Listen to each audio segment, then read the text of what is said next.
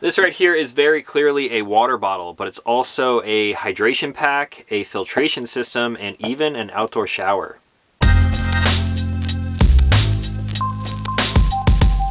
What's going on everyone? Back with another episode of Stuff and Things. We're gonna bring back 5 Minute Fridays because why not? So today we're taking a look at the MODL Water Bottle. Now like you guys heard in the intro, this thing can be way more than a water bottle. Thanks to its squishy body right here, this thing could even be a pillow actually. It's kind of nice, I'm not gonna lie. So if you check out MODL Outdoors website, you can find a ton of information on these things and people are using them for a million different uses. I'm gonna get this thing filled up with water quick and then we'll talk about some of uh, my personal uses. All right, here we are, 36 ounces of water in a food grade silicone container that actually has two different lids on each end of it. This thing is like durable, super tough. I can still use this as a pillow. It's a cold pillow now, and it's not gonna end up leaking everywhere.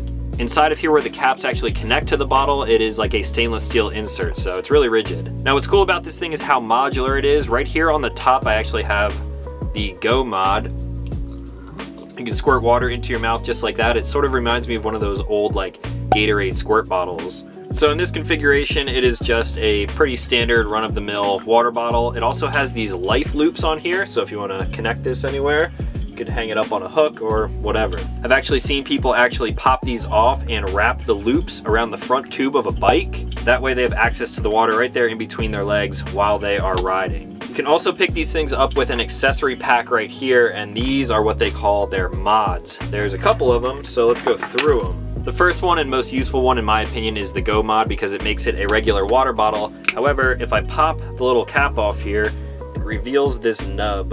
Now just like how I was explaining you could mount this thing up to the front of a bike, I can simply slip this tube over that little nipple right there, and now I have a hydration pack.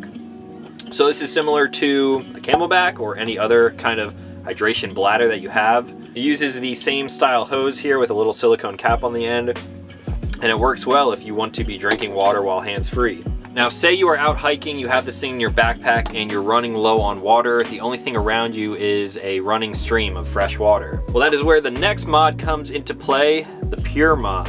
Now this whole thing is constructed out of a hollow fiber membrane in there, which basically filters water. Just one of these Pure mods right here can filter up to 3,000 liters of water, which is roughly 790 something gallons of water. Now what you can do with this is simply pop off the Go mod, which is technically now the Flow mod with the tube attached. With this little silicone hose, I can mount the filter up to the inside of the cap get that thing on there nice and snug. Now say I filled this thing up at the creek that I've been hiking next to, I can simply drop this in, screw this on, and now the model is able to filter out 99.9% of the bacteria that may have been in that water. So I was just drinking water right out of the van, which is basically just filled up with like a garden hose. And I don't know if it's a placebo effect, but I feel like this tastes better. I honestly don't know. It's good though, it works. So you have all of that functionality in here, a hydration pack, a filtration system, a typical water bottle, and now there's the one that sort of made me raise my eyebrow. I'm probably gonna have to go over to the sink for this one.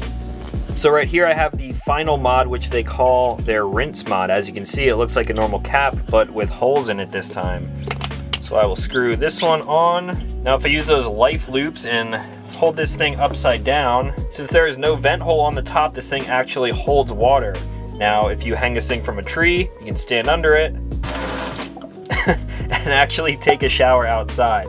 I don't know how long a shower would last with 36 ounces of water, but I could also see some other uses for this thing like just last weekend we were skiing in really muddy spring skiing conditions and we had to walk through the parking lot to get to our vehicles and our boots were disgustingly muddy afterwards. That would get some mud off of your ski boots for sure.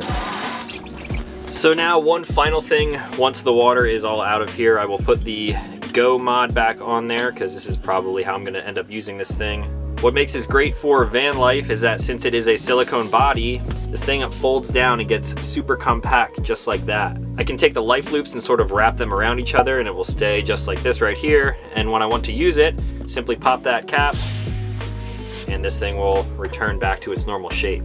So I never thought I would say a water bottle is cool, but this thing is pretty cool to me. It has a ton of functionality with the different mods that you can swap in and out. You can order this thing as a complete pack, and if you get everything included with the different mods, the filtration system, the hydration pack, and all that stuff, so you can actually pick this up right here in the full kit configuration with everything that you see for $95, or you can start off with just the water bottle, which is $35, and then add whatever mods you see fit, which range between like 15 and $30. Now the thing that I'm going to be using this for is basically the Go mod and the filtration system. A lot of times I don't like to drink the water that is coming out of my van because sometimes I don't really know if it is drinking safe. I know for this video where I filled the water up and it is safe to drink, however there are some places where you just don't know. So what I can do is put the water into the MODL, I can have the filtration system in there, and then I can put this whole thing inside my fridge. Space is limited in there, so I can't really fit a whole gallon jug of water in there, but I can fit this. It's silicone, it has flat sides,